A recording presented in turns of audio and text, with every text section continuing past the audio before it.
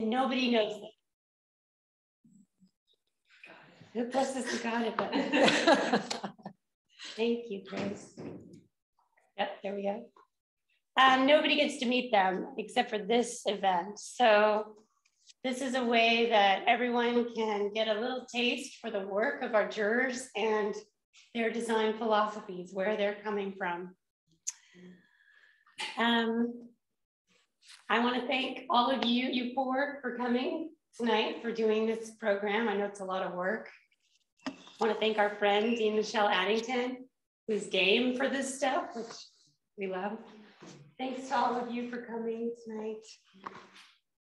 I want to thank Gensler for hosting us in their beautiful office. You guys, it's a beautiful office, I'm telling you. Um, I want to thank the AIAS, so our UT School of Architecture student group has an art auction here. Please buy the art.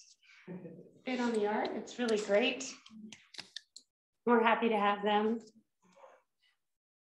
And I want to thank our generous sponsor tonight, Architectural Engineers Collaborative. Thank you so much. Couldn't do it without you. So Architectural Engineers Collaborative is a great friend of AIA Austin and the design community, so we're grateful. And now I'm going to turn it over to our Design Awards chairs, Chris Gonzalez and Sylvia Izaguirre. Welcome everyone um, to the 2022 Jury Conversations event. Um, so my name is Chris Gonzalez. I'm the chair for the Design Awards Committee this year. Um, know that by being here, you guys are participating and making history with our first ever hybrid event. Um, and so we will be in person for the award celebration on May the 18th at the uh, Branch Park Pavilion. Um, so go and get your tickets at aiaustin.org. Um, so I want to thank everyone for being here, um, to the jury, to our moderator, and to public at large. Um, but I especially want to thank um, AIA Austin staff and our Design Awards Committee for putting in all the hard work this year to make this program a huge success. So thank you, everybody. Um, so I think these past couple of years have shown us that uh, now more than ever, the design profession needs to take its place and use our unique skill set to uh, reshape this new um, world that we're starting to come out into. Um, so we need to continue to serve our community and um, address today's problems with bold new solutions. So I have no doubt that um, our design community is already making strides with that and our wonderful jury will see that in some of the work that they review tomorrow. Um, so thanks for joining us to review this year's submissions with a fresh new perspective and exceptional group of jurors and to continue to celebrate design excellence here in Austin. So with that, I'll turn it over to Sylvia Izaguirre, our Design Awards Committee Chair-elect. Hello, I'm Sylvia Izaguirre, Chair-elect of our Awards Committee, and I am very excited to welcome everyone to our gathering. I've been participating in the Awards Committee for three years now, and I can easily say that jury conversation is my favorite part of the program. It's dedicated to celebrating design excellence in Austin. For anyone who is curious about what makes a design excellent, this evening presents a unique opportunity to engage in conversation with a diverse group of celebrated jurors from across the country. For me, this is one of the most meaningful conversations to be had. And the fact that this event is open to the public makes it even more significant for everyone driven by or simply interested in learning what drives design excellence. Thank you all for joining us. And I look forward to learning more about who our jurors are, how they approach design, and what it is that they will be looking for in this year's entries. Although we've helped select you guys, we look forward to listening to your lectures. So yeah, let's introduce um, our jurors and our moderator. So we'll start with uh, Niraj Bhatia is a licensed architect and urban designer whose work resides at the intersection of politics and architecture. Niraj is the founder of the Open Workshop, a trans-scalar design research office examining the negotiation between architecture, territory, and collectivity. Niraj is the recipient of the Architectural League Young Architects Prize, the Emerging Leaders Award for Design Excellence, and the Canadian Prix de Rome. He is an associate professor at the California College of the Arts, where he also directs the Urbanism Research Lab, the Urban Works Agency. Bhatia has also held teaching positions at UC Berkeley, UT Arlington, Cornell University, Rice University, and the University of Toronto. He is co-editor and the author of several books. Niraj has a master's degree in architecture and urbanism from MIT, where he studied on a Fulbright Fellowship and a Bachelor of Environmental Studies and Bachelor of Architecture from the University of Waterloo. Welcome, Niraj. And all of you, I just want to let you know, there's like 30 people in this room. You can't see them, but they're over there. Everyone, even those in the nosebleed seats.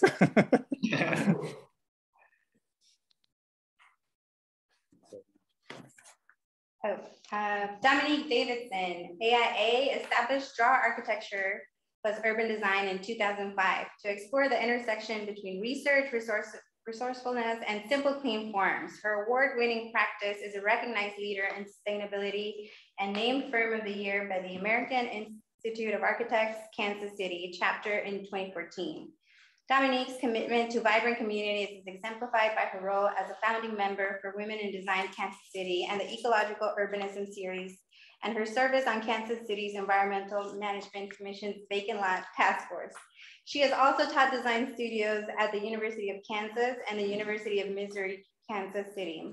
Since 2013, Dominique has been leading the development efforts for Plan IT Impact, this web application tool allows architects and planners to understand resource impacts at the earliest stages of the design process, linking open data with the development location. Plan IT Impact provides visually immersive feedback related to water, energy, CO2, transportation, and potential ROI.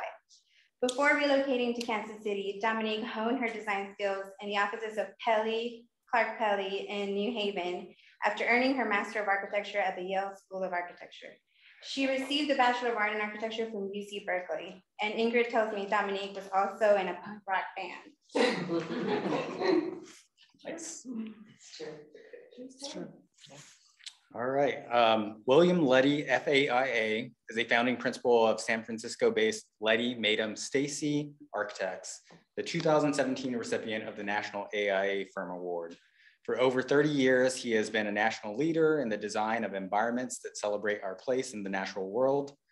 LMSA has received more than 150 regional, national, and international design awards and is one of only three firms in the nation to have received 10 or more national AIA Committee on the Environment Top 10 Green Awards, Project Awards, the Institute's highest award for ecological design. Leddy has lectured widely and served as a visiting professor at the Southern California Institute of Architecture and the California College of the Arts as the Howard A. Friedman Visiting Professor at the University of California, Berkeley, and the Pietro Belluschi Distinguished Visiting Professor at the University of Oregon. A past chair of the National AIA Committee on the Environment, he currently serves as the AIA California Vice President for Climate Action and Chair of the AIA California Commit Committee on the Environment. And Mariana Martins graduated with a master's in architecture from Lisbon's Facultad de Arquitectura of Universidad de Lisboa in 2013. She has worked in Uruguay and another studio in Mexico prior to entering Tatiana Bilbao studio. She has had the opportunity to work in projects from small domestic scale to public urban design and has developed most of these projects from the conceptual phase to construction documentation and site supervision. She has worked on a variety of programs such as housing, student community residences, hotels, restaurants, cultural centers, and museums. She is currently working as a project coordinator for the renovation and expansion of the Mexican American Cultural Center here in Austin. And lastly, uh, we want to welcome Dean Michelle Addington for being here and joining us as our moderator. Um, Well, Dean Addington is a great friend to AIA Austin, and she may need no introduction. Um, her bio is so impressive that uh, we just want to go ahead and share it. so before coming to UT, she served as Gerald Hines Chair in Sustainable Architecture Design at Yale and was jointly appointed as professor at the Yale University School of Forestry and Environmental Studies. Prior to Yale, she taught at Harvard's Graduate School of Design, the Technical University of Munich, Temple University, and Philadelphia University. Originally educated as a mechanical nuclear engineer, she worked for several years as an engineer at NASA, Goddard Space Flight Center, and EI DuPont at de Nemours, sorry about that, before she studied architecture.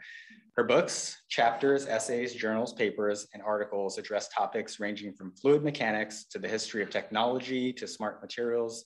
And she has consulted on projects as diverse as the Sistine Chapel and Amazon rain and the Amazon rainforest. Welcome. Thank you.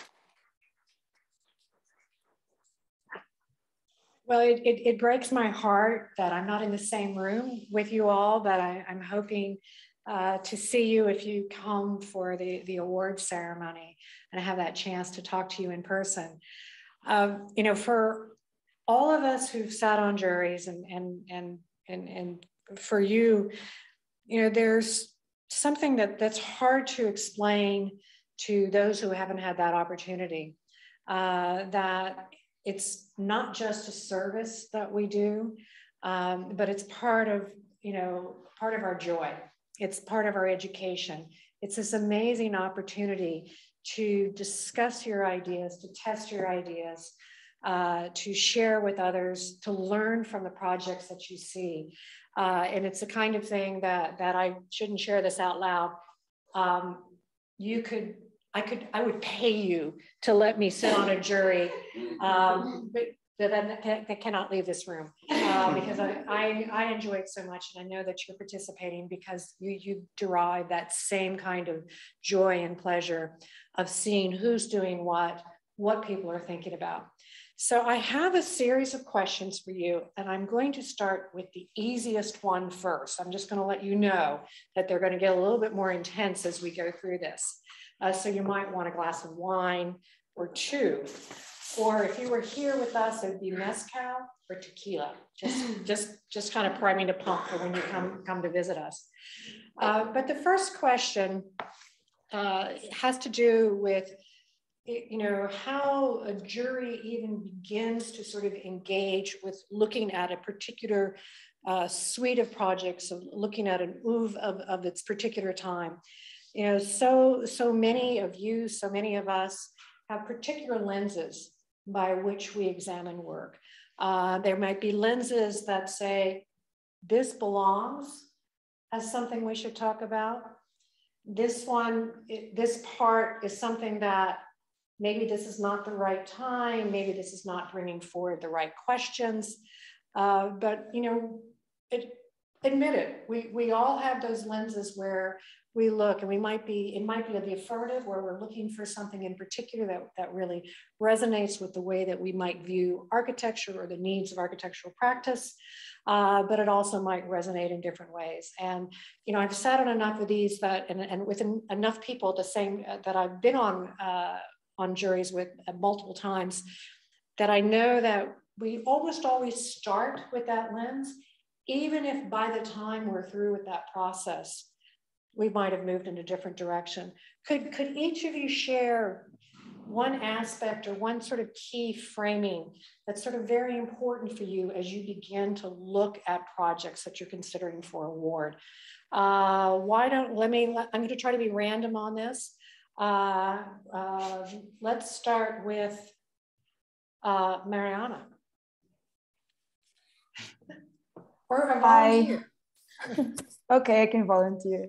Hi, everyone. Thank you for the opportunity. And I feel a bit humble next to people who have so many awards and um, big careers. And I hope I can make my best, uh, give my best next to you. But I think overall uh, in the office, what we do, um, well, and what I've tried to do while thinking of awards is trying to think about how the project uh, gains and transcends architecture. I've tried to con concentrate more on, on other dimensions rather than making something beautiful or making something that I would like to live on and try to focus more on, on human, human values and what projects are giving to communities and what's happening to the city by doing this way a project or the other way, like what impacts. And I feel like cities are mostly beginning to be unlivable uh, for so many of us that I guess some of the projects I've been putting ideas on on why should we give the, those awards are projects that are maybe more focused on that and and looking at things differently and not concentrating so much on the LEED scoring and how many points do I get by putting this type of glass and more like um, what am I creating with the street or how is this affordable? How can a family of four live here? How could I live in this neighborhood? Um, how many years would I need to work to buy this house? So I think that was kind of my uh, perspective um, on it. Thank you. Thank you. That's actually going to lead to my next question, but let me let me okay. hold off on that. okay. Um, how about William? You know, I I think you're you're exactly right about uh, the jury experience. I've, I've I've also I think as probably many of us have said on my share, and and I always find them to be really uh, kind of rejuvenating uh, to share ideas and to to um, uh, to try to find common ground on, on what excellence really is. And I think that, uh, and especially now, as, as was pointed out, you know, in our current, you know, situation with the world changing as quickly as it is. Um, so I, I think the, the, the way that I've seen it happen before and um, uh, is that, is that there's a, there's often um, a, you know a surprising commonality about what people sort of respond to um, as design excellence um, when at first view, and then I think it requires a more deeper dis- uh, dive into exactly why this thing is the way it is. Um, and many of the juries I've I've been on, uh, you know, there's there's a fairly narrow range of schemes or, or projects that people kind of are attracted to but there's always the outliers that get introduced because someone is a very passionate one of the jurors is a very passionate um, advocate for that scheme and, and convinces the other jurors uh, to to go along with them. So i really love that that um, that give and take that happens uh, in, a, in a jury and the sort of sharing of ideas and the and the the um, the cajoling and and convincing back and forth about what good design really is. So I'm looking forward to that very much. And, and I think that the projects that we're reviewing uh, really do um, present that nice range of, of, uh, of possibility. All right, um, Dominique.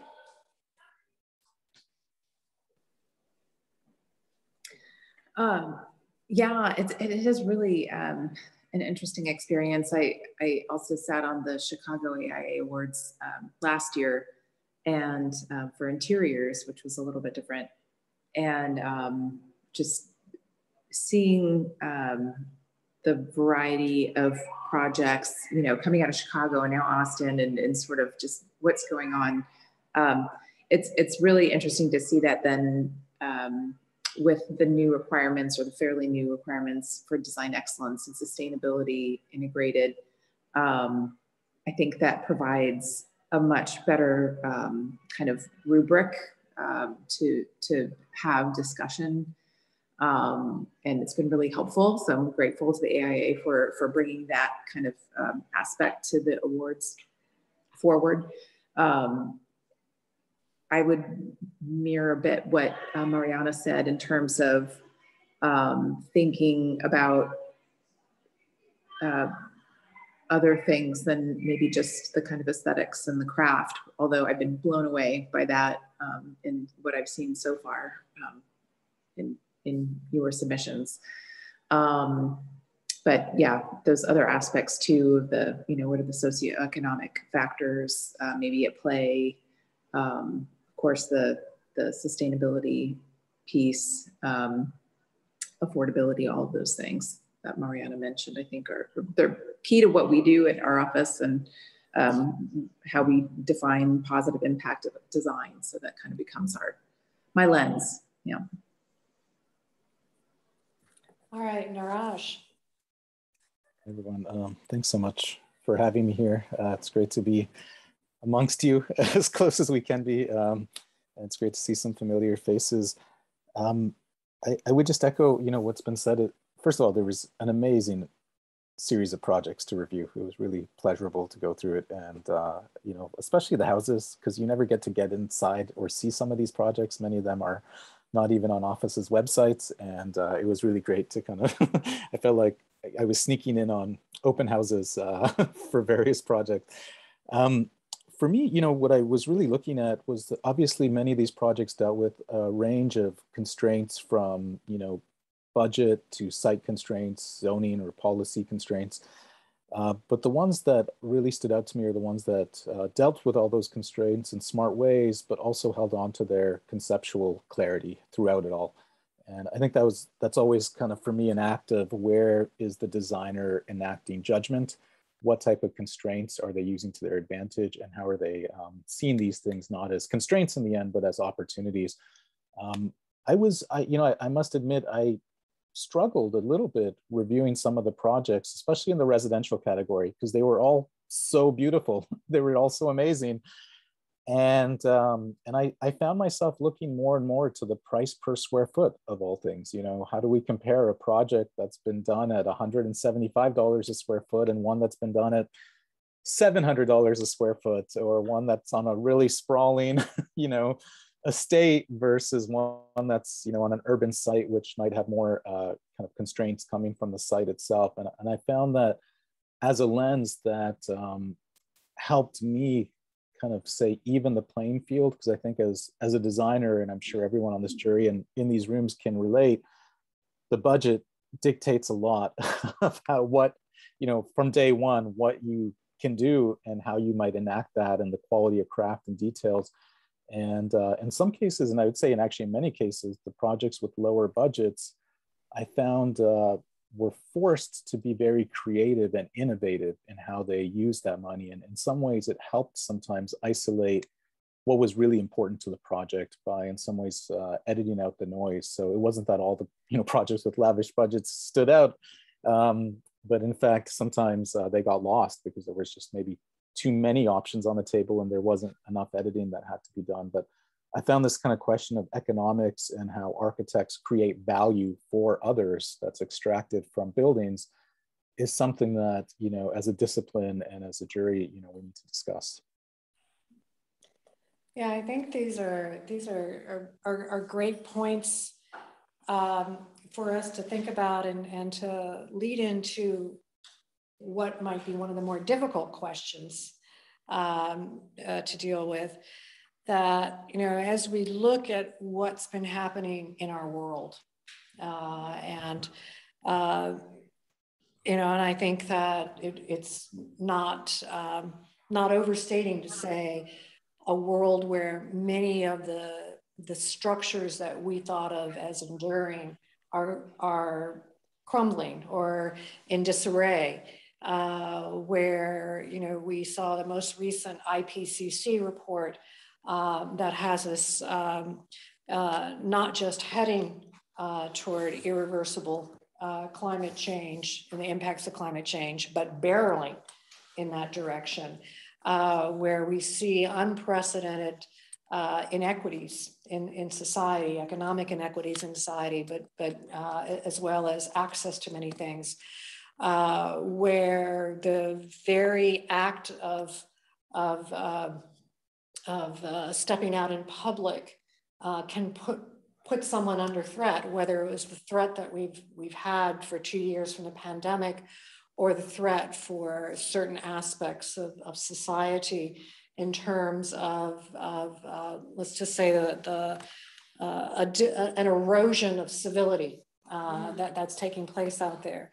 You know, we, we are in a world that it's hard for us not to see what's been changing around us.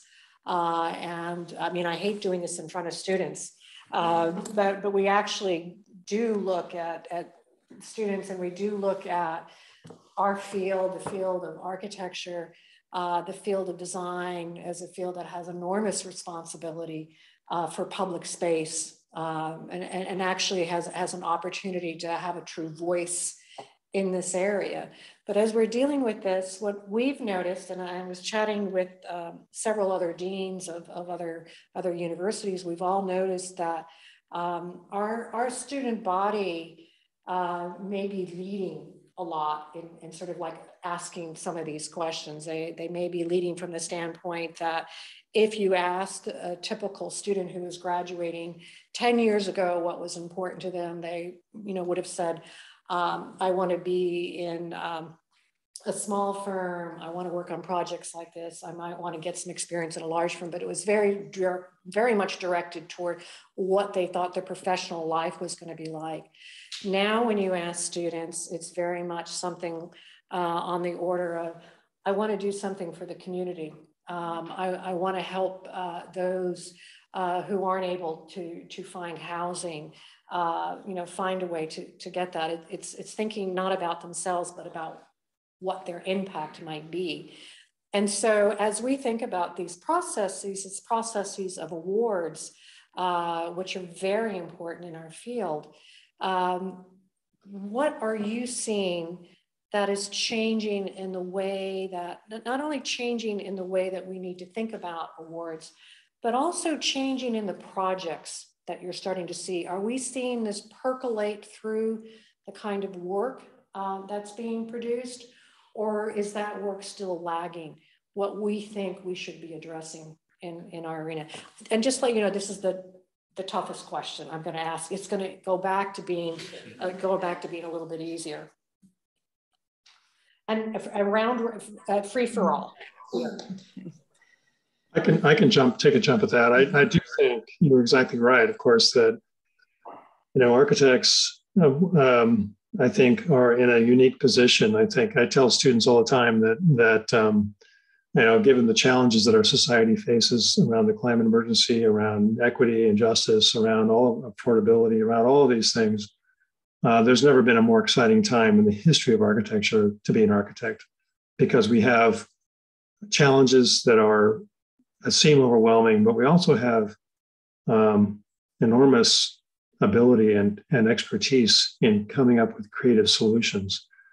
Um, so I, I, I think you know at our firm I think we're really all about what we call uh, designing beyond the property lines. Um, that you know it's sort of similar to a little bit similar to what Mariana was talking about. That that the projects that I'm drawn to um, are ones that have a bigger story to tell or a bigger lesson to to provide than just being a really nice house. Now we all know that doing a really nice house is hard enough by itself, but I would argue that that's not enough anymore um, we need to find a way to provide an affordable house that is also zero carbon, that is also something that can be replicable, um, you know, across the country in a variety of different um, uh, climates.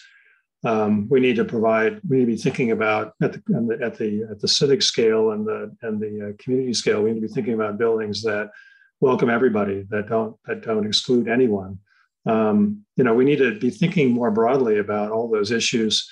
Um, we need to embrace um, adaptive reuse. I'm, I'm, I'm, drawn to some of the adaptive reuse projects for this reason, because of course, the most sustainable building out there is the one that's already been built. And um, uh, so I think the idea of, of, of creative adaptive reuse uh, also gives us an opportunity to have dialogues with history. And so we talk a lot about the idea of, of harvesting the embodied uh, carbon, but also the embodied culture of existing buildings and value of that um, to our, our society and, and to the to the planet. So I, I, do think I'm glad you brought this up because I do think it's it's that that there are new criteria that are being applied, whether we might be conscious of it or not, to to um, to these design awards programs. But I think there's also we're seeing more and more projects, uh, to your point, that are that are more um, um, fluent in talking about some of these ideas. Uh, you know, at the same time, it's still surprising how many projects ignore them completely. So, um, so that's the that's the interesting um, aspect of this. One thing that's been really interesting um, that we're seeing just over the last year, um, I think we've seen um, a lot of conversation around Black Lives Matter um, in in our community, and of course, you know, nationally. But um, the ULI and um, AIA and, and, other organizations have been really taking that seriously um, as a civic kind of um, duty to think about it. And um, we've been talking quite a bit in our office around this idea of okay, we are actually part of a um, a wealth generation machine, right? As architects, we're we're creating pieces of property that have equity, that have real financial implications to them, um, that have historically been benefiting a very small percentage of people. And it's been really interesting to see the conversations um, lead to educational programs of trying to get a more diverse group of, de of developers and people um, with agency to actually start having equity, right? Um, so real estate equity equaling social equity in a very real way. Um, and, and as a result, we've seen our client base grow much more diverse. So not only, you know, it's important for us to have a diverse group of um, designers in our office, but even more important is that the client base is right and and the folks who are making the investment are getting opportunities to make investment uh, in our communities so that that's been incredibly um, exciting and positive um, in the face of at the same time uh, an industry that is on the other end seeing the loss of agency of architects and, and you know, design build becoming more prominent and, and um, some not so good news as well. But I feel like um, we try to focus on the, the smaller scale development and those, those um, places where we see rays of hope. Yeah, um, just to add a couple thoughts. Um, I think Michelle, your characterization of the last few years is is spot on. I think COVID has really propelled uh, the reality that we live in a risk society. And, and I think, I, you know, I don't think it was ever stable. I think if you ask people that are oppressed, or if we ask the natural environment, you know, these were never, you know, the crisis didn't emerge. it's, you know, something that maybe we opened our eyes to in the last couple years as we realize every decision we make is some level of risk assessment um, in the world. And I think for me, it brings up this question about the role of the discipline, a discipline that has been traditionally um, rooted in producing stability and permanence, now has to confront indeterminacy, contingencies, uh, a future that is uh, less stable for us to understand how to program even.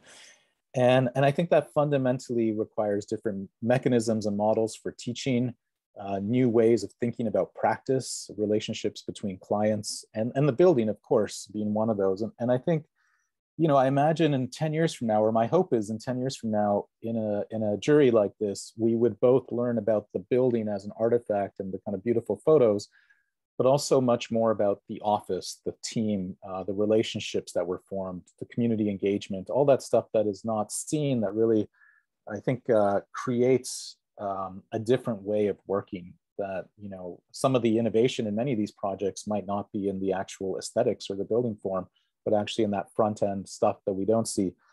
On the other hand, I am curious, and maybe one thing I was looking for in some of the projects that really talked about embracing indeterminacy or questions of evolution, transformation, is how did that change uh, ideas about architectural organization, architectural language, aesthetics, or did it not? You know, was it still a modernist box that just happened to have really high tech HVAC systems and things like that, but there were still, say, um, you know, uh, an idea of holding on to a particular aesthetic mandate despite, you know, very different inputs coming into it. And, and I think this is where we're at as a discipline where we kind of are almost, um, you know, our, our predecessors hover above us. and I think we're at a really interesting point where new architectural languages and ideas are, you know, going to emerge in the next 10 years. And, and we probably will, we don't have a terminology for it right now, but I think we'll finally kind of exit the modernist uh, dogma. Yes, uh, just one final thought, uh, since we're looking at, well, not really looking at, but having a students crowd here, this idea um, that you were just saying about how the, the profession is seen and how it was seen.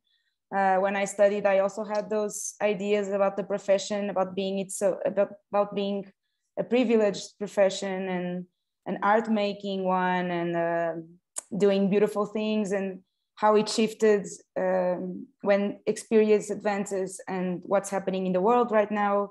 You see that it's more of a duty and a responsibility to do something that we know will stay on and buildings will live on. And being aware that it's also not an individualist profession and uh, one that tries to leave our name in buildings, but more about having a conscience that if I say no, if we say no to a project that is damaging a natural landscape or a context in which you shouldn't do a tower and all of those questions that you wonder when the project comes to your door and if you say no then maybe someone the next studio might say yes. And i think that's a, a call out to an urging collaboration in inside the profession. I know if this is the reality in the us because our office is based in mexico city but collaboration has been a huge point of Mexican architecture the latest the latest years, at least the years I've spent here, and I think as being united and understanding architecture as a, a collaboration process with so many more people than just architects and the communities and engineers and all of the consultants and all of that is um, uh, I think urging today to make all of these efforts to towards a better life and world that we're talking about, having less our names on the wall and more our goals united. And I think that that's kind of what I wanted to say for the students. I mean, this is amazing, and uh, and I'm just thinking now that uh, if only we could have a few weeks to keep talking uh, on all of this. Uh, I'm totally game for it, uh, and and we need to. And and it's not it's not it's not something that ends in a few weeks. It's something that we just start uh, in in a, in a, few weeks because these are all sort of observations and questions uh, that that we need to be dealing with. Uh, with, within our field, and you know, each each decision that is made by, you know, by an architect, uh, whether it's a, a decision about uh, a line that, that, that isn't a drawing or it's decision about one, what one chooses to, to focus on or wrestling with these, these much larger issues. And I think the sort of balance that's come up is not necessarily a balance, but what we might consider almost a binary that's come up between uh, that which endures that, that part of this profession that endures and that which is in this sort of state of indeterminacy, that, that the, the, the state of transiency. Uh, and and we, we tend to chase after the transiency, uh, but sometimes we cling too long to that which endures or, or, that which we think endures on that. And so it's really beginning to understand how, you know, we understand what is con- contingent and what is constituent in, in the things that we do because we have to address both. We, we don't get to, to choose on that. But coming back to something that is more enduring, you know, the, the beauty about the profession, and, and it's why, you know, we love it the way that we love it, and, and we'll love it until the day we die. And it's not just because we don't earn enough that we have to keep working uh, until till uh, we die, but but we we we have this great love for this. And, you know, part of it is that, you know, we're dealing with several thousand years of, you know, the footprint uh, and the traces of decisions made uh, uh, for, from those who've come behind us and, and what we have that remains of, of, of, their memory will be the built the, you know, the, the vestiges, whether it's the, the vestiges of the built environment or parts of the built environment. And sometimes the vestiges appear in, in simply uh, modes of organization or transportation that are left behind, even if we don't have the physical remnants, but, but the impact will be there. So we have this aspect about our field uh, that is truly enduring. So you have that from sort of one, one way of thinking about it. And so when, when you're on a jury and, and you're looking at projects and you're thinking about projects, you know, just as I asked uh, what was the framing for it, what is that thing that you always go back to? What, what, is, what is that aspect that you are drawn to, you know, every time that sort of connects with you as to this fundamentally is why we do what we do. This is why we love what it is that we do. And, and it's manifested here in this project.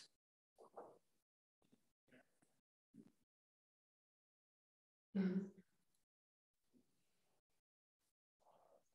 You struck them down. Stunned into silence. this one was harder than the previous one. but friendlier, less pessimistic. Yeah. maybe maybe just to try with a naive response to get get us going. Um, I think um, at least when I was looking at the projects, um, it's so easy to evaluate in terms of where our current contemporary aesthetic styles are and material choices. And I was looking a lot about the relationships that are established and set up that will go beyond that. You know, in five, ten years from now, maybe we won't like that particular material anymore. We've seen too much of it or that particular roof geometry or whatnot, but what type of social and environmental relationships have been established and, and those will endure uh, regardless of, you know, the actual kind of aesthetic, stylistic uh, components. And those relationships manifest in maybe programmatic organization, sometimes in the choice of structural systems and how those structural systems can be uh, allow for possibilities in the future that can't be anticipated. And, and I think that's a really interesting game that many architects are playing right now is really trying to say where is our agency and what are the elements that we can at least set up as a framework to endure uh, despite not knowing all of the unanticipated things that might come in that framework while still establishing certain relationships that will hopefully hold true uh, through those you know changes in society economics and so forth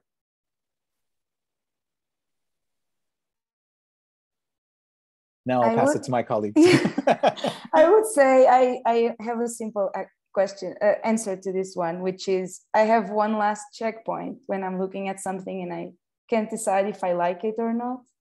I say, does it look like it was already there before it was built? And sometimes when the answer is yes, then when I look at a plan, it looks like, yeah, it was already there.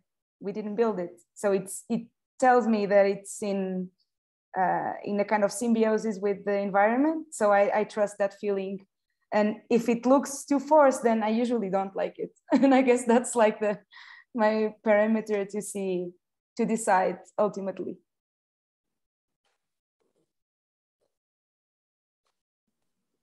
To me, I think it goes to what was said before about the conceptual clarity. Um, is, is there something there that's really compelling to me. Um, and I think, uh, you know, and, and, and how has that concept carried through then down to the detailing? Um, that, that is always interesting to see. Um, and, and there's certain projects that have a, um, a kind of a, yeah, a, a holisticness to them right? Where they just sort of come together um, into one one creative move, um, and and that's always really great to see when that happens. Yeah, I think you know, for me, uh, timeless buildings are ones that you know rise authentically from the site and circumstance and the kind of available technologies um, that are there. And so um, I, I, too, I mean, I guess this is some of the residual. we're never completely free of our fore, forefathers and mothers uh, in the modernist movement. I think the idea of having strong a strong conceptual basis, a simple, elegant solution that that simultaneously addresses a multitude of of, uh, of factors. Uh, those are things that um, that I think one after a while one just senses from a building um, uh, upon first first uh, viewing, and then and then and then hopefully uh, stands up to to deeper um, investigation. Um, so I, I, think I think that's that's that's always going to be the case, and I think what we're seeing now is we're we're calling up upon more and uh, buildings to do more and more. Um, you know, we're calling upon them to not just be beautiful, to not just be elegant and and timeless. We're calling upon them to lead the way to to a resilient future as well. And and uh, I, I really think that's exciting. I think it's an exciting challenge to think about buildings. And this is actually particularly where adaptive reuse is appealing because because you you start thinking about how how um, the building starts to have a dialogue with the past, the present, and the future all at the same time, and um, and I think that's something that can be very powerful to experience, but also very um, uh, very timeless and and uh, and useful um, over time. Okay, I have one last question. Um, Austin, uh, you know, and this is this is a, quick one for you to, to, sort of think, you know, off the top of your head, your your your thoughts about it. Fastest growing city in the United States um, has had the highest, I believe it was the highest uh, rate of price increase in housing, uh, and both I think in, in rent as, as well as in purchasing in the last year. Or I think Boise, Idaho was number one. I think we were number two uh, on that. Um, we, we are seeing five over ones take over huge swaths of the city. Uh, we are also looking at an unprecedented, uh, not necessarily unprecedented, but um, an unprecedented rate at which droughts um, uh, are, are, repeating. Um, and we're, we're seeing a growth that, that doesn't quite match at all. Well, it doesn't match at all with our water situation that we have, but it's a growth occurring uh, throughout central Texas. Um, you know, it's, but it's also a, a place of unbelievable dynamism. Uh, it, it's a place that's both authentic and then just like, uh, you know, and then also uh, emblematic of, of the tech culture. There's so many things that, that, that come together here what are what is what is your what are your impressions of austin or your thoughts from these projects that sort of speak of something that might be unique to austin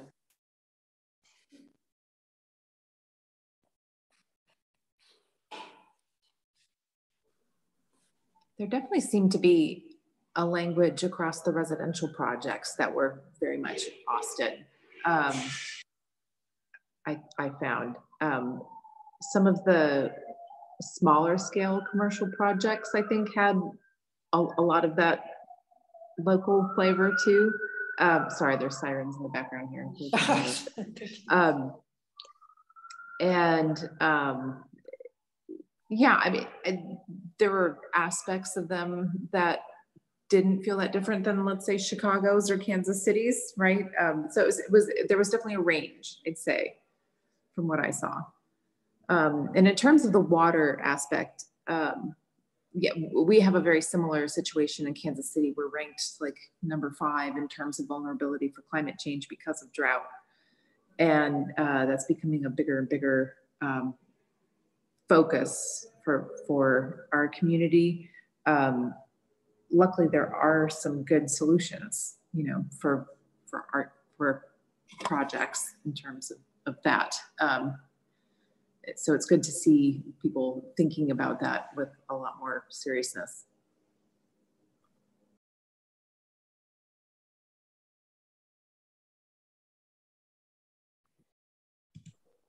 I think the one of the things that uh, uh, maybe uh, Niraj and I share, coming from the Bay Area, is the uh, the highest construction costs in the world.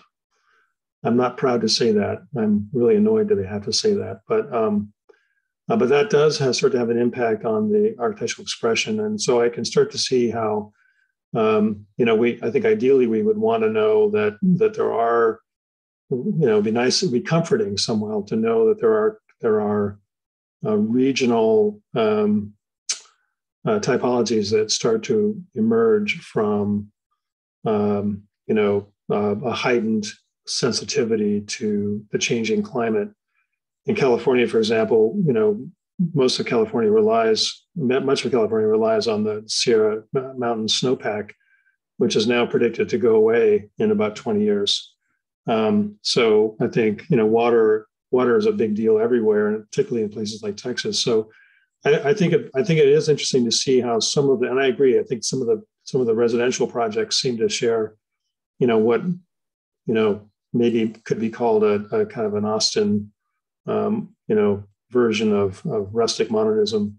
Um, um, but it, I think the ones that are most attractive are the ones that sort of seem to handle it really easily and again very honestly and with a sort of a forthright uh, uh, manner toward detailing and and uh, materiality um, mixed in with you know rainwater catchment and um, you know renewable energy and so forth.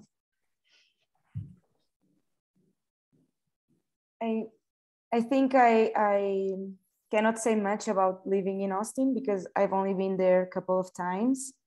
And I guess, um, as you say, the question is more of a almost a worldwide one. And Austin is a great example because of its growth. But it's about thinking how can we still live in the cities? How, what are the public instruments that are we trying to explore or have or achieve that can stop certain things that are happening or certain politics or some things being allowed um, that make it uh, impossible to stay in cities or make it uh, non-sustainable per se the least and i remember walking in the street on east austin just last month and there was this series of what used to be old mexican houses the porch and one level houses and then right next to it there was a the foundation for a four level parking which indicates that it would be a tower right next to this neighborhood of small houses. So that's just an example of, I asked, how can the city let this happen? How can we allowing this, and this is just one case and it can be applied for, I'm sure, water strategies and what are we considering to be sustainable? Uh, how can we be sustainable to water our plants to with um, potable water? How can that score on a LEED card? And I think that's some of the questions that we should ask ourselves from the small scale to, um, as I said, city strategies, political instruments, and um, yeah, ur urban policies for cities and what programs are are happening that can help us gather and discuss it and make strategies.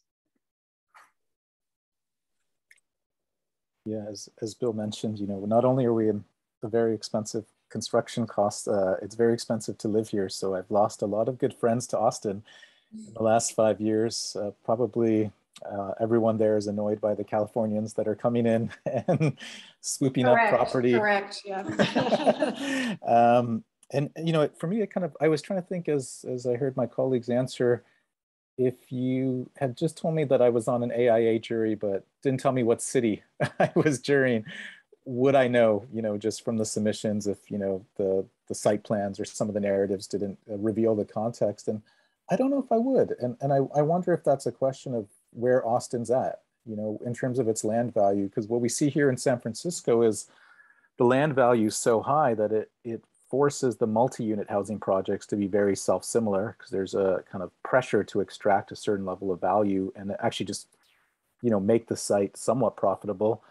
And uh, you know, and, and then I was thinking, well, maybe the high-end residential projects, they're free from that because they're operating in a different class altogether. Uh, but those were probably the most self-similar of all of them. And, and there's this kind of very uh, pervasive I don't know what you call it. It's like an HGTV aesthetic that has, um, you know, gone through the discipline, and um, and you know, and I think that's also the other end of capitalism, right? That we kind of see in capitalism that things become more self-similar, and um, and so you know, one thing that I did, if I was trying to kind of go through all the submissions, definitely the like the pavilions, the uh, public projects, these really were rooted in Austin, I found. And then many of the commercial and residential projects could almost be in many geographies with similar land value, I would say, or similar kind of economic uh, growth pressures on them. I think the one thing that I would pull out from particularly the, the housing projects, and I think Bill mentioned this already, just an amazing level of craft and detailing, like exquisite, exquisite craft and detailing. And maybe because construction costs are so high in the Bay, um, you know, at least I don't get the projects. Bill might get projects like this. I don't get the projects that that we can do that level of craft and detailing on. So Michelle, we, just before you go, I know that all of them expected to show slides, but it seems like this conversation is very organic and I love it and I hope you do too. Maybe we forego the slides and keep talking a little bit longer and then get some questions from the audience? How, how do you all feel about that? We could also sort of have running of the slides in the background too. So, or we can attach the slides to the recording and let people see your slides and, instead of, because this is just fascinating and we would never get this. Is, is that all right with you? do, do, do we have some questions from, from our guests, other guests who are here? Questions? Anybody? Um, Come on. I have a question. I thought that, uh, I guess it was Niraj, oh, let me speak to this. Um, Niraj spoke to it that maybe in five or 10 years, we'd start um, giving, um, recognizing the team that actually made the work, like that's a life unto itself. Um, I'm curious, have you have you guys ever seen other chapters that might ask for that? Maybe a little bit more than AIA Austin has. Um, is that has anybody doing that yet? I know um, the ACSA, uh, which is um, geared more towards academics, has awards for collaborative practice where um, it's really talking about how because I think there's two projects we're talking about that we're talking about changing the world through our discipline. And to do that, we realize we need to change the discipline itself and how it works, right? So there's kind of these two things. And, you know, and the reason I think it's going to take a while is because, you know, we need a whole generation of young academics to teach a young group of students and kind of free ourselves from, you know, years and years of bias, right? Um, and, and I think uh, the ACSA one is the only one that comes to mind where the collaborative practice awards really speak to how a team is set up and how they're working with each other. So it's such a big part of some of these large projects is how that uh, relationships establish and how different voices come to the table and find uh, a form to negotiate in a productive way.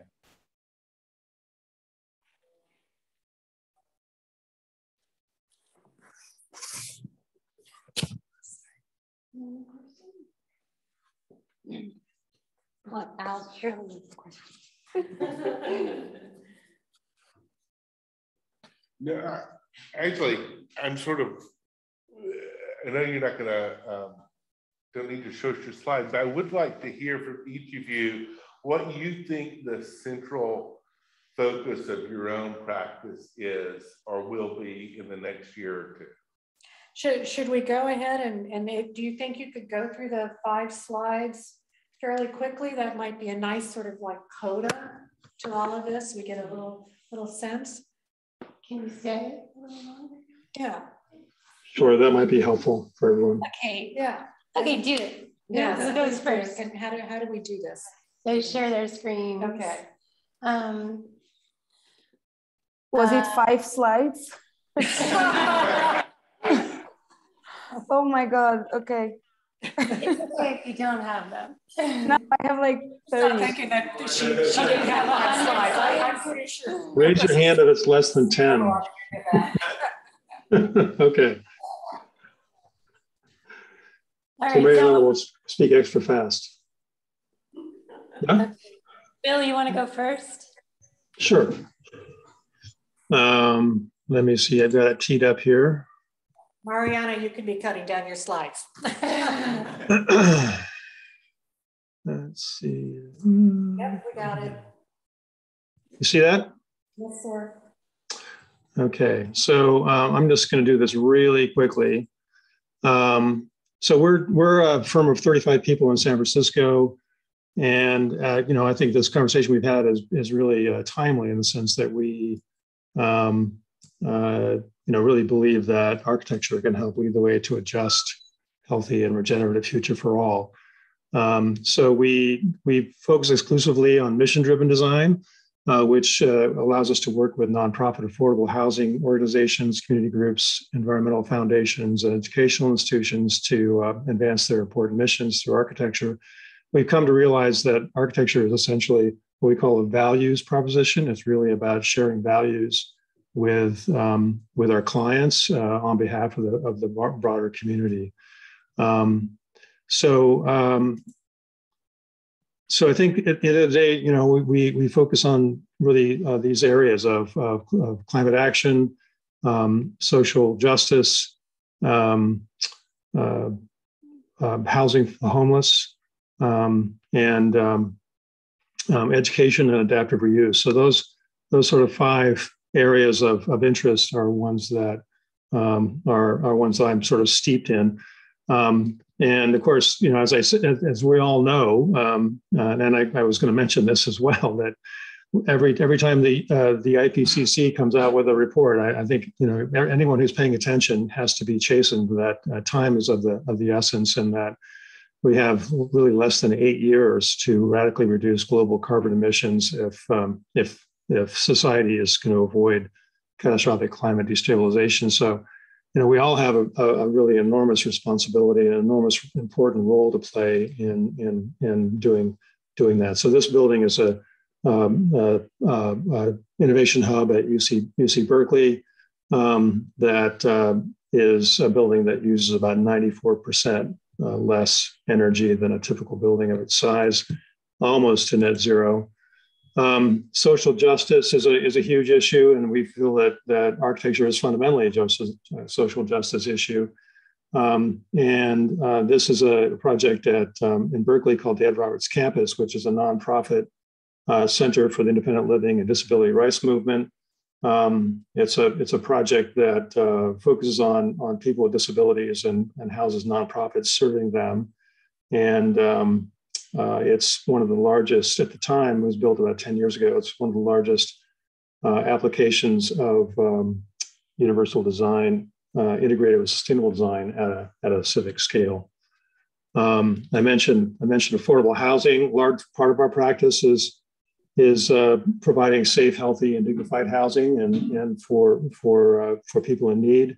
A variety of folks from um, uh, uh, unhoused individuals to low and very low income families, seniors at risk of homelessness, and, uh, and veterans. This project is the Edward M. Lee Apartments, which is the first um, building of its kind in San Francisco to combine supportive housing uh, for both unhoused veterans and low income families.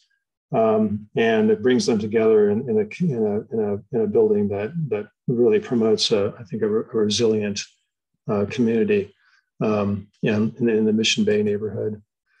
Um, education is a huge deal. Um, uh, now more than ever, I think we need education in the environments to support it to um, provide, um, prepare, prepare informed, curious, and resilient global citizens who really know how to thrive in the in the rapidly changing planet. So we're interested in designing schools uh, that are zero carbon living laboratories that help that teach students how to become innovators um, for the future and uh, to shape a, a, more intelligent, resilient world.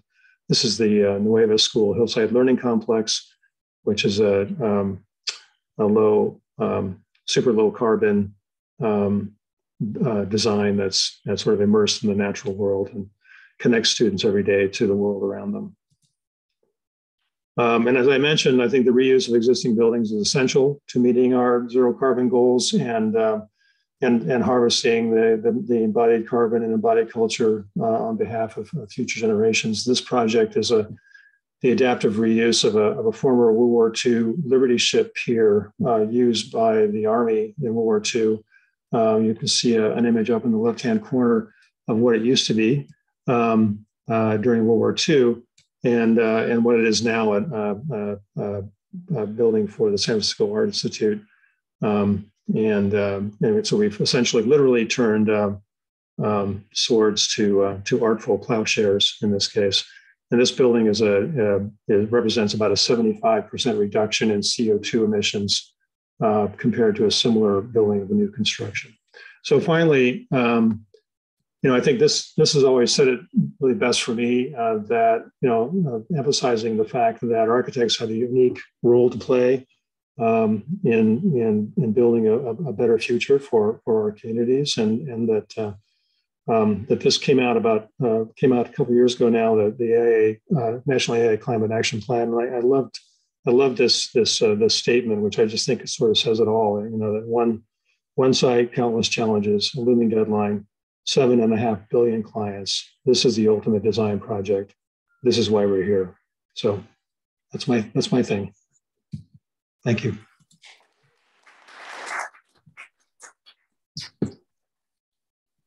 Thank you, Bill. Who's next?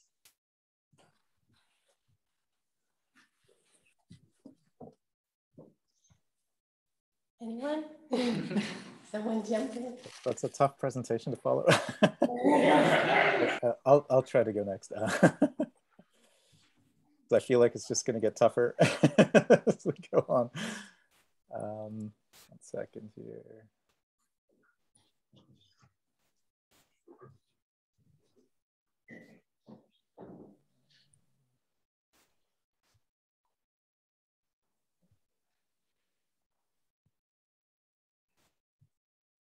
Okay. Um, so I'll keep this super short. Uh, you know, the open workshop um, is a, we're a very young office um, based here in San Francisco, and uh, we're a design research practice. So uh, we do equal amounts of both.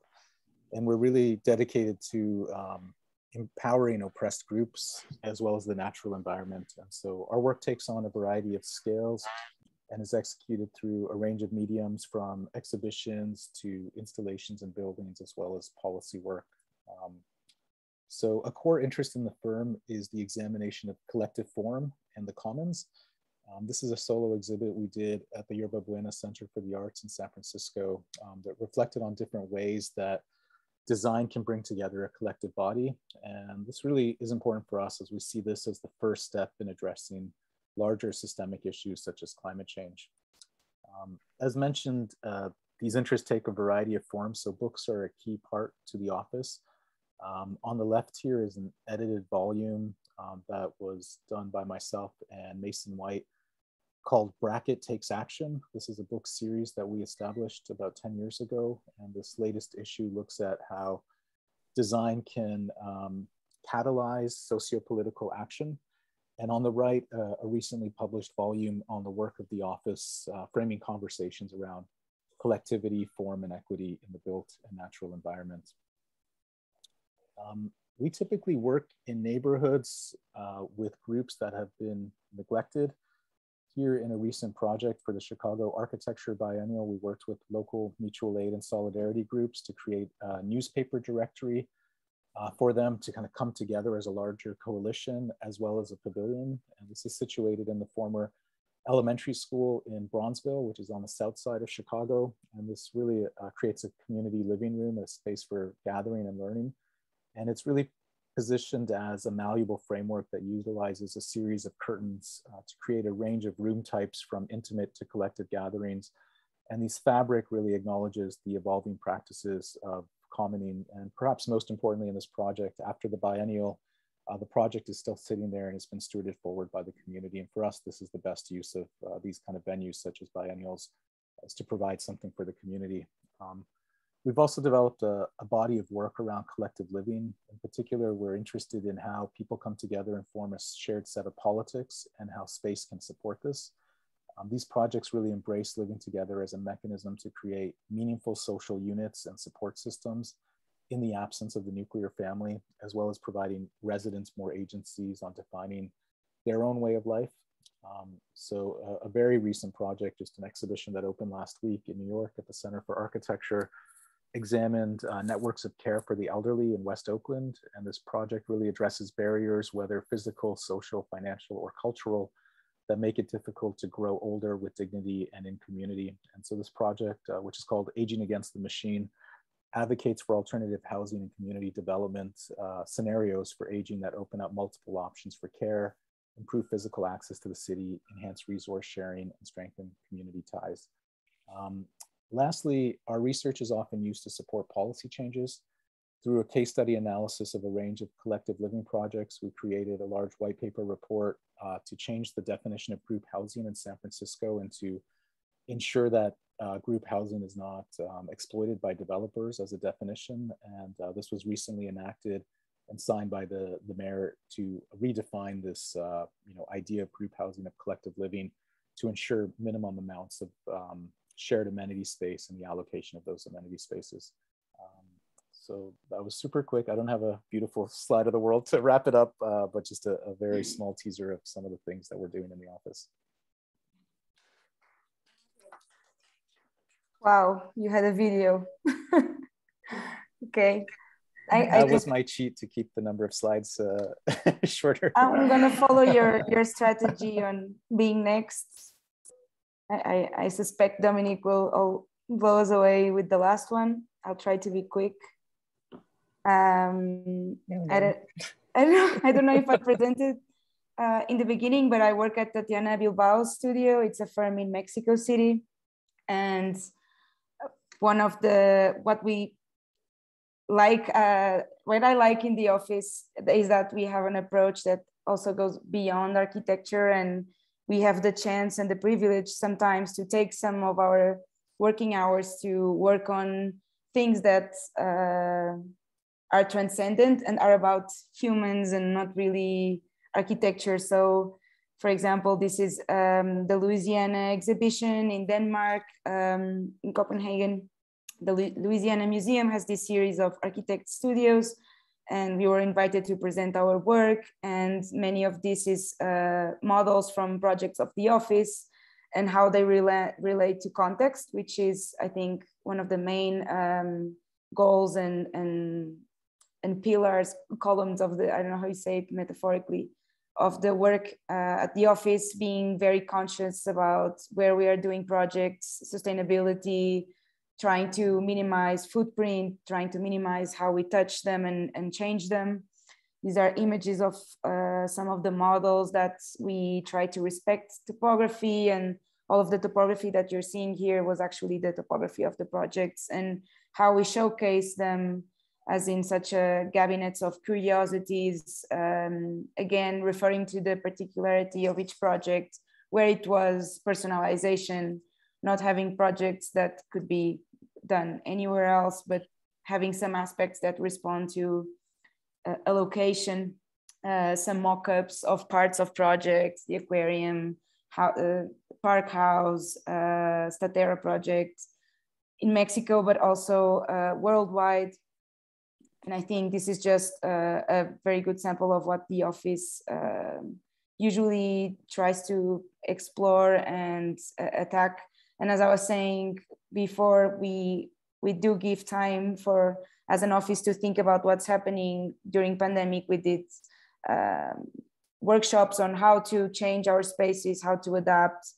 Should we rethink work house and what's what's qualified and programmed as a workspace as a living space and really redirect things in to open our horizons and re-question some things that we some concepts of use uses of spaces. And i think we did also a, a workshop on uh, discrimination after black lives matter and really went back to our projects and and and went back like projects from years ago and look where were we discriminating in our own architecture? What are you, we doing wrong? How how are we qualifying and naming spaces? And what should we change in the future And just to show you some of some of the projects, this is us. We're a big team in the center of Mexico City. But uh, if I could just go quickly through some projects, this is social housing in Acuña. This is the border in Mexico and United States. These were 16 houses after a tornado hit. These were very complicated because uh, because of the weather conditions. It's extremely hot. Uh, I guess a bit hotter than Austin even, and low budget for the housing. And you see the spaces are very tight, and how to work on uh, square feet that now are the minimums are the new maximums. So how how do we live to those standards and practice architecture? Um, again, these are some images of the housing projects. Another one is the aquarium being built right now in Mazatlan, also in Mexico. How to approach such a big uh, project that we might have turned down if it was a uh, big volume, attacking on nature in front of a, a, a beach scenario, a river scenario, how to make it look like um, almost as part of nature and making it look this tries to look like a ruin, like it was there, like it's it's containing it's contained by nature rather than containing it. Uh, some images on how we explore the the ecosystems, the Mar de Cortez, the approach of human versus nature, some collages on interacting experiences rather than uh, framing the spaces, trying to understand what we wanted to feel when we were we were there. We were walking through this nature some images of it being built. It's much more advanced than this now. It's almost finished today. Uh, we use a lot of concrete. It's not so common in Austin, but um, it's kind of our local material here. Some images that try to go uh, and manifest that um, feeling, tectonics, um, exploring through collages, imagine, imagining realities. And last, uh, the Reconstruir Mexico was after the earthquakes, earthquake 2017, uh, biggest earthquake in 20 years in Mexico. Uh, this is from the state of Mexico. A lot of families got a kind of a sponsorship from the government. And for the first time they had uh, technique and someone advising them on how to build their own houses. This was, many of them were uh, self-built and so these all these houses were made with very humble materials and they were made with the person that was going to inhabit them conversations on the family how they wanted the house how could they build the house we basically gave them the expertise so that they executed it and this is another house completely different so we didn't go for a prototype we rather gave people the tools to try to imagine their own house uh, with the budget they had. Um, these are very humble neighborhoods. And I think this is my last slide. Uh, I don't have an ending also.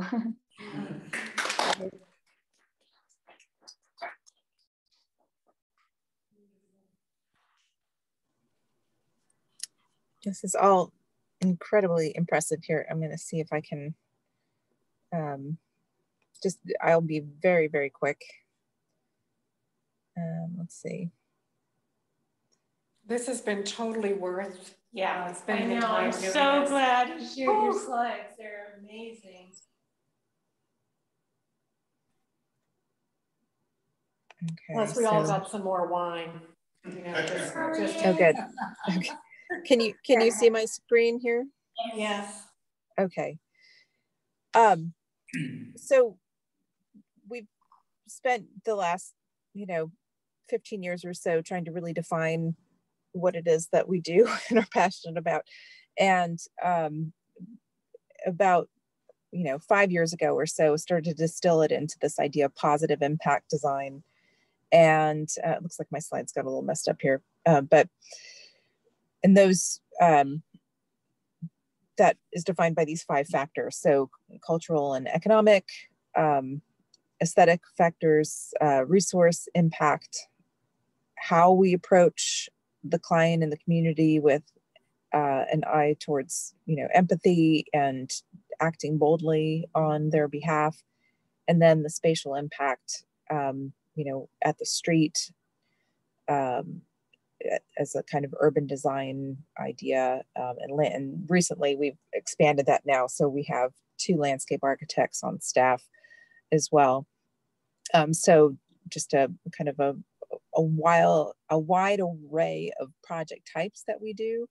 Um, but there's always um, all of these aspects or most of these aspects embedded in, in each one. And that's how we decide if we take a project on is, is it going to um, challenge us in, in these five ways.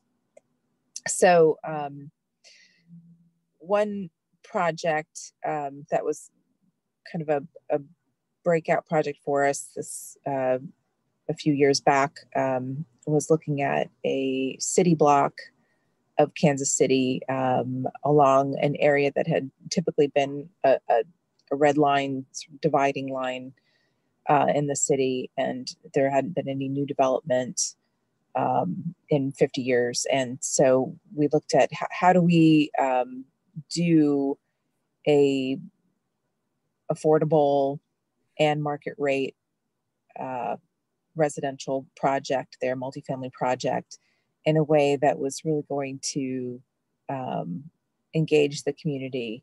And so we decided to plan the entire city block around um, pedestrian pathways and, and connections from different sides of the neighborhood and north, south, east, west um, through the blocks and um, kind of um, reorganize the, the plan um, from what you would typically see um, based on those pedestrian pathways. And so um, that's um, something that we were pleased then in terms of the feedback we got from the surrounding community and folks that had been living there for decades. Um, whoops, I'm sorry. Sorry about that. Um, that they really welcomed it and we're excited um, to see how it came together because that was we were really concerned about um, you know gentrification and and displacement um, for the project.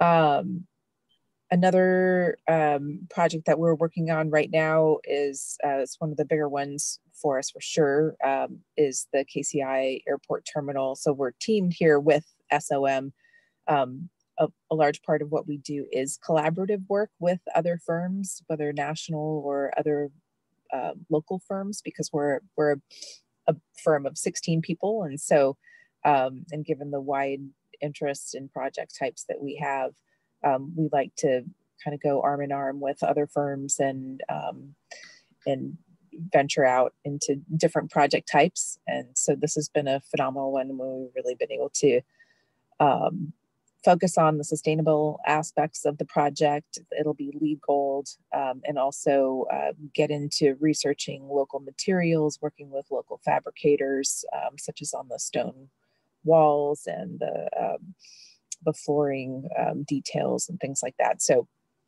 um, that's uh, something that we're actively in the process of constructing and should be complete in about a year.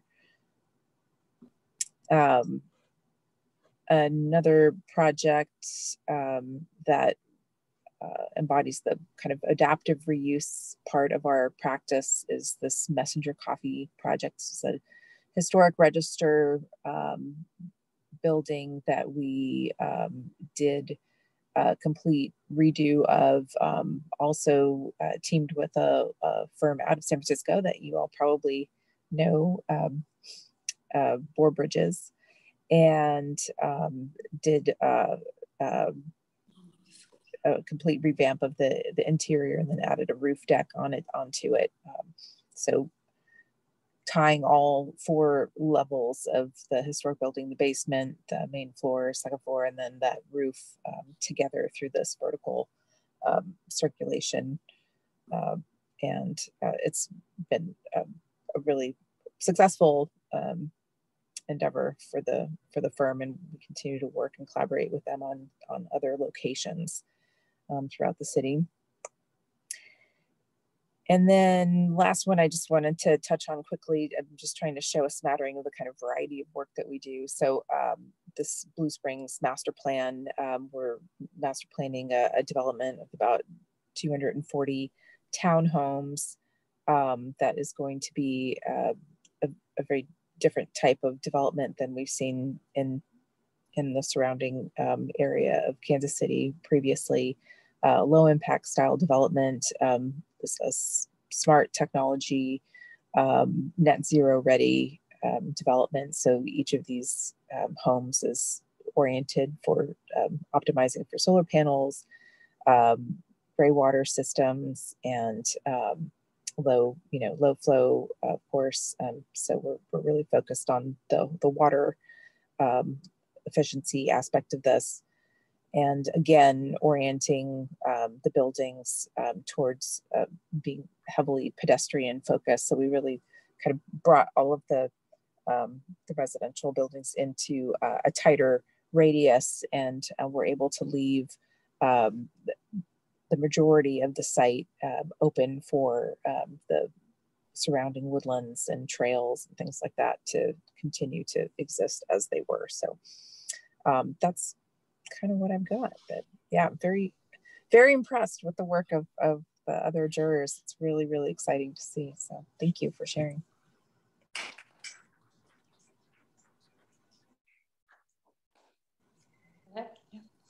Thank you so much to all of you. Wow, I can't wait to talk to you tomorrow. It's going to be fun. This has been really amazing. Thank you, Michelle. I love, I, I, love this. This makes me so happy. And thanks everyone for coming tonight. This has been great. Thank you, Gensler, for having us. Thank you, Gerardo, Honorata. Um, I guess, jurors, uh, I'll see you tomorrow so much. Bright and early. Sounds good. Bye. Thank you. Take care. Thanks for having us. Bye. Rob, it was down to 11%.